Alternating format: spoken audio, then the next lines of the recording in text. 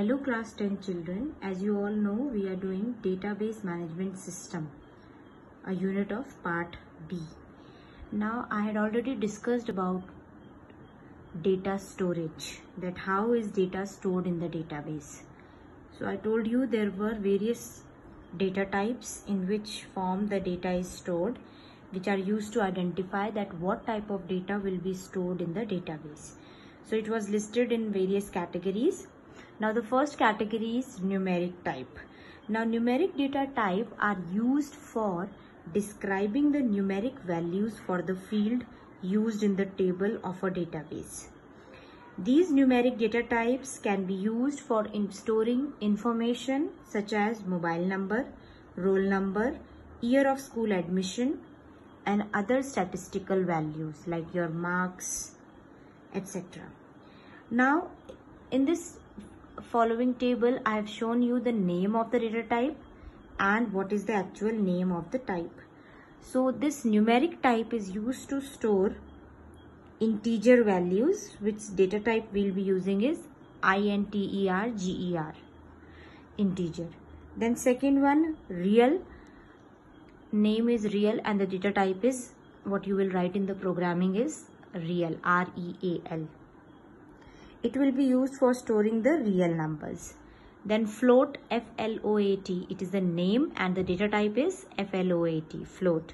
So it will be stored used for storing the decimal values. Now if you are uh, typing in the data some decimal values and you want to select them or get them, then you will use this float data type of numeric type.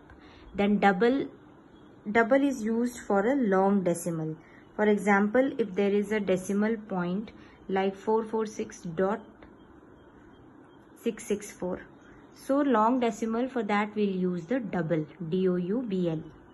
So these are your numeric types. Now next one is alphanumeric type.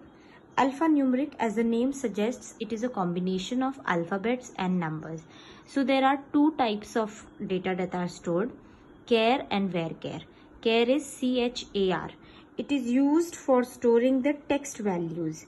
For example, you are writing your name or school name, any text value containing the alphabets that will be stored in the CHAR, that is your char data type.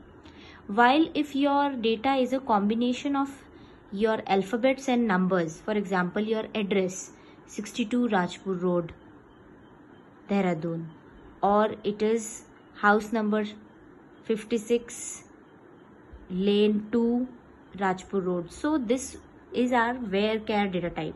That means it is a combination of your alphabets and numbers. So it will be stored in the varchar data type.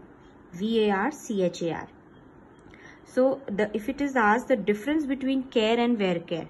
So char data type is used to store only the character values while varchar data type is used to store the character and your number values. So this varchar data type is used in case you are entering address in the database or date of birth also. Sometimes you write the date of birth as 25th May 2007. So it is a combination of numbers and your alphabets. So we'll be using the varchar data type for that. Now next one is binary data type. As I told you that day also, binary data type are used for storing the data in binary formats that is you're storing your photos your music files. So this will be your binary data type. So here you use the long var binary l-o-n-g-v-a-r-b-i-n-a-r-y for storing any image.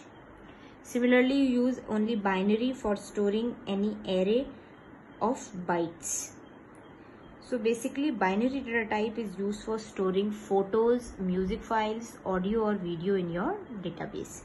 Then the next one is date time data type. They are used for describing the date and time values for the field used in the table.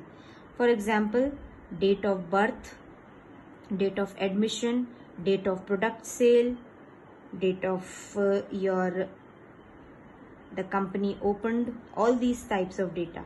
So here we have three date, time and timestamp. Now date stores the month, day and year information.